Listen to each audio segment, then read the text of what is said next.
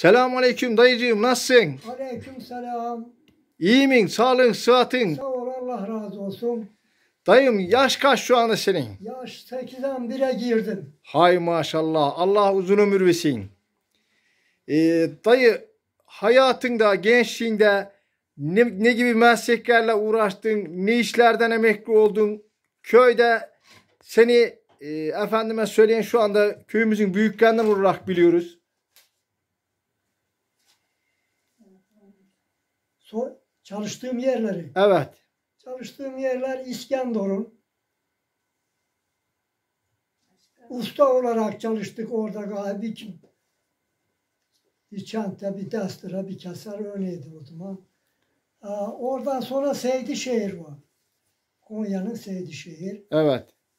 Hatta dayımın rahmetlik de vardı orada.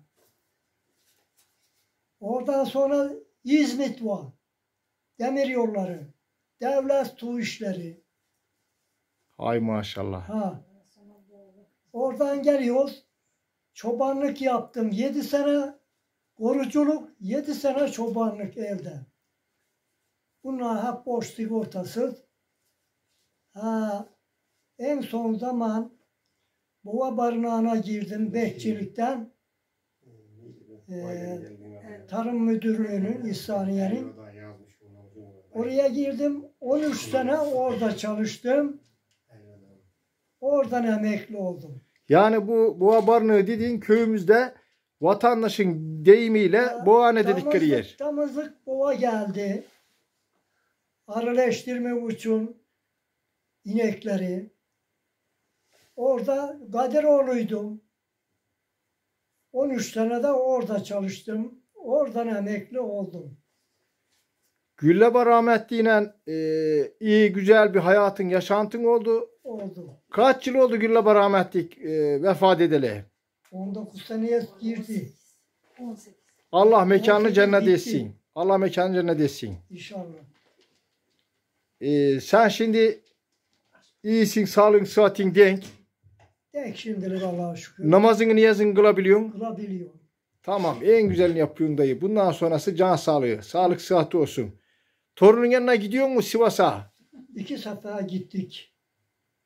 Değil mi? Oraya Aha, iki ben, gittin ben iki sefer gittim. Su şehri. Sivas'ın su şehri. Bir de gidiyorum öte yanına. Oraya gittim geldim. Hay maşallah. Gidebilirsek nasip olsa bu sene de kurbandan sonra gideceğiz. Tamam inşallah dayım. Allah sağlık sıhhat hayırlı uzun ömür versin inşallah. Sağ ol. Bizlerden arzun isteğin emrin. Sağlığımız. Buradan e, bizim Afyonlu olup da yani köylümüz olup da Kütahya'dan, İstanbul'dan, İzmir'den bir de yurt dışından izliyorlarmış bizim videolarımızı.